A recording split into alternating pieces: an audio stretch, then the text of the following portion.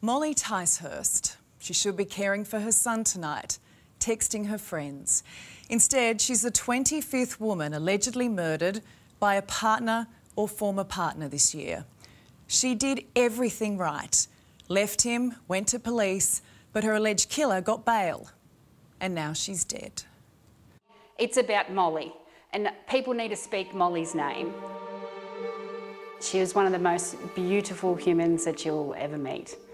Molly did everything for everybody without any rhyme or reason for it.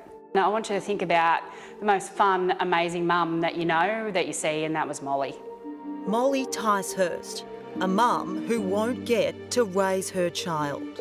She saw the red flags and she left. What hurts most for family friends like Jacinda, it should never have been possible. Molly asked for help, and when she asked for help, she got none. It wasn't received in the way that it should have been received in, and it let her down. And she should still be here. And she's not. A 28 year old with so much to live for. The latest young life allegedly cut short by a violent male partner or ex. I'm heartbroken. I'm, I'm heartbroken. I'm heartbroken for Molly. I'm heartbroken for her baby. I am heartbroken for her parents. Nobody should ever have to bury their child. And especially, nobody should ever have to bury their child under any circumstances whatsoever. And then to have to deal with what happened to Molly, I don't know. I, I, I've actually got no words for it, none. Has the system failed? 100% the system's failed. The system failed that failed her. And it's just like it's failed hundreds of other women before her and something has to change. It's a senseless loss of life being felt around the country, but hardest in Forbes in central western New South Wales by Molly's family and friends. Everybody can stand up and say how amazing of a person Molly was and you know, that she did everything right because Molly did everything right. Somebody has to be Molly's voice in this to speak up. You need to speak up. If you see something wrong in your friends, in your family, speak up. Because if somebody had spoken up, maybe it might not have happened. The alleged killer is Molly's former partner, 29 year old Daniel Billings. He had previously been married in 2018. In the wedding video, he shadow boxes. A court heard this morning he'd been charged with several offences against Molly, including three counts of sexual intercourse without consent, four counts of stalk intimidate, and two counts of recklessly destroy property.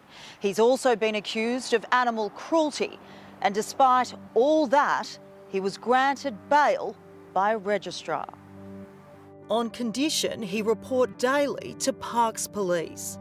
An apprehended domestic violence order was supposed to stop him from going to Molly's hometown of Forbes. He was ordered not to contact Molly or go within one kilometre of her home or work.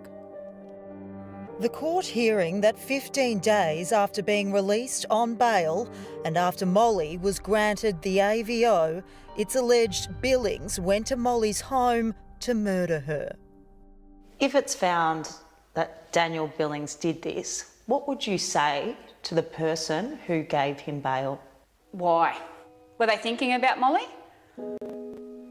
Do they need to change their way of thinking and think about the victims? Are they thinking about the victims?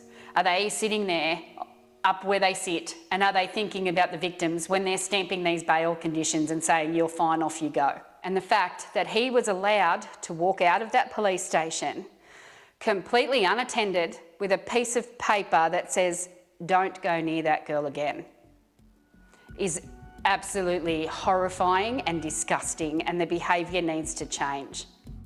Well, I can understand real community concern about the circumstances relating to that decision. New South Wales Premier Chris Minns. I'll be speaking to the Attorney General later today to understand all the information that he has about the circumstances leading up to this killing. But it's too late for Molly and for those closest to her grappling with the crushing, needless loss. Where's the system and when's it going to change? When does it change so that people, it's too late for Molly, it, it's too late.